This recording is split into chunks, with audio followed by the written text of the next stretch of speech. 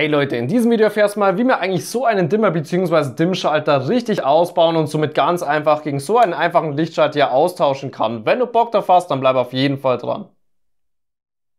Da wir hier jetzt an einer elektrischen Anlage arbeiten, müssen wir unbedingt die fünf Sicherheitsregeln einhalten. Doch hierfür ist ein spezielles Video an dieser Stelle einfach sinnvoller. Und wenn das Ganze dann vom Stromnetz genommen und somit auch spannungsfrei ist, schauen wir uns mal einen vereinfachten Schaltplan an. Im Moment kommen wir bei mir jetzt mit einer dreiartigen Leitung zu unserem Dimmschalter hin und von diesem Schalter geht es dann auch schon weiter mit einer dreiartigen Leitung zu unserer Lampe. Wenn wir jetzt aber unseren Dimmschalter gegen so einen normalen Lichtschalter hier tauschen möchten, müssen wir eigentlich gar nicht so viel verändern, denn der Neutralleiter, der blaue hier, ist ebenfalls noch mit der Lampe direkt verbunden, genauso der grün-gelbe Schutzleiter hier und nur beim braunen Außenleiter ändert sich jetzt etwas und zwar geht dieser nicht mehr in unseren Dimmer hinein, sondern in unseren Lichtschalter bei der Eingangsklemme L wird hier geschalten und bei der Ausgangsklemme, welche mit so einem Pfeil gekennzeichnet ist, geht es dann auch schon direkt weiter zu unserer Lampe.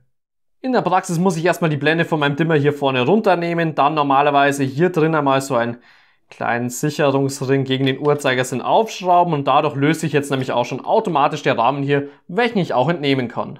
Als nächstes löse ich die obere Befestigungsschraube und die untere Befestigungsschraube, beziehungsweise auch wenn es in einer Unterputzdose ist, hier einmal diese zwei Schrauben und jetzt kann ich nämlich auch schon einmal meinen Einsatz hier aus meiner Hohlwanddose herausnehmen. Meistens sind die beiden Außenleiter hier braun. Der eine kommt von der Zuleitung, der andere geht zu meiner Lampe und diese muss ich jetzt erstmal von meinen zwei rechten Klemmen hier außen lösen. Hierfür muss ich einfach mal bei mir noch das Ganze aufschrauben und schon habe ich diese auch schon draußen. Der braune Außenleiter hier auf der rechten Seite geht zu meiner Lampe und der linke Außenleiter hier kommt von meiner Zuleitung. Und hier hinten sind die beiden blauen Neutralleiter und die beiden grün-gelben Schutzleiter auch schon richtig miteinander verbunden, weswegen ich das Ganze erst einmal lassen kann. Als nächsten Schritt nehme ich mir meinen Schalter zur Hand. Hier kann ich erkennen, dass meine Leiter 10 bis 14 mm abisoliert sein müssen. Wenn es bei dir nicht der Fall ist oder du wie bei mir zum Beispiel jetzt Schraubklemmen hier schon verwendet hast und das Ganze etwas beschädigt sein kann, dann am besten die Leiter noch einmal entsprechend mit einem Seitenschneider kürzen und auf unsere 11 mm dementsprechend abisolieren. Danach gebe ich den Außenleiter, welcher von meiner Zuleitung kommt, hier oben bei L in die Klemme und der Außenleiter, welcher jetzt zu meiner Lampe weitergeht, hier unten rein, wo das Ganze mit einem Pfeil gekennzeichnet ist.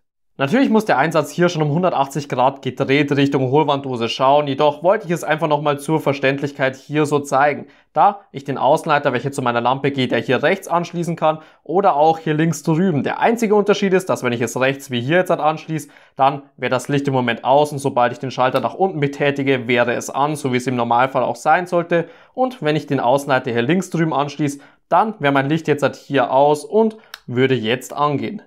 Bei mir ist es jetzt aber richtig angeschlossen und jetzt muss ich noch hier links drüben einmal in meinem Fall die Schraube lösen, um einfach diese Spreizkralle hier entfernen zu können, denn diese ist nur für Unterputzdosen geeignet. In meinem Fall habe ich eine Hohlwanddose und im schlimmsten Fall könnte nämlich diese Spitze hier auch meine Leiter hier hinten drin beschädigen, weswegen ich es links und rechts mal rausmache. Wenn dann alles passt, den Einsatz mal bei den entsprechenden Befestigungsschrauben hineingeben, das Ganze mit einer Wasserwaage oder mit den entsprechenden Hilfslinien hier ausrichten und diese Schrauben hier ordentlich festdrehen. Bei einer Unterputzdose, wie gesagt, kann es auch sein, dass du entweder solche Schrauben hier dabei hast oder du benötigst jetzt diese zwei Schrauben hier außen, drehst diese im Uhrzeigersinn und dadurch werden die Krallen nach außen gespreizt und das Ganze hält in meiner Unterputzdose dann bombenfest. Im nächsten Schritt muss ich meinen Rahmen mal noch hier aufsetzen, dann die Wippe natürlich richtig rum auch noch hier aufbringen, so dass sie überall sauber eingeklipst ist und dann mal hier oben noch die Blende auch drauf geben und schon geht der Lichtschalter auch. Zum Schluss gebe ich wieder Spannung auf mein System hier und dann kann ich nämlich auch schon den Lichtschalter mal auf Funktionalität überprüfen und ich würde sagen, das schaut auf jeden Fall super aus, weswegen wir jetzt auch schon einen Dimmer gegen so einen normalen Lichtschalter hier richtig ausgetauscht haben. Wenn du für zu Hause jetzt übrigens einen Dimmer, einen normalen Lichtschalter oder auch eins der verwendeten Werkzeuge aus dem Video zulegen möchtest, dann einfach mal unter dem Video in der Videobeschreibung auf den entsprechenden Link klicken und du kommst direkt zu den Produkten auf Amazon von Markenherstellern. Falls dir das Video gefallen noch weitergeholfen hat, kannst du mir gerne einen Daumen nach oben geben und es einmal unter dem Video in die Kommentare reinschreiben. Außerdem kannst du meinen Kanal noch hier oben kostenlos abonnieren, um kein neues Video mehr zu verpassen.